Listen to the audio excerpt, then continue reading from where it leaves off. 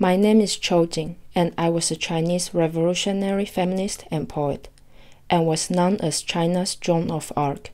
I was a fierce advocate for the liberation of Chinese women, defying gender and class norms by unbinding my feet, dressing as a man, and leaving my young family to pursue an education abroad. On July 15, 1907, I was beheaded by Imperial Army forces who charged me with conspiring to overthrow the government.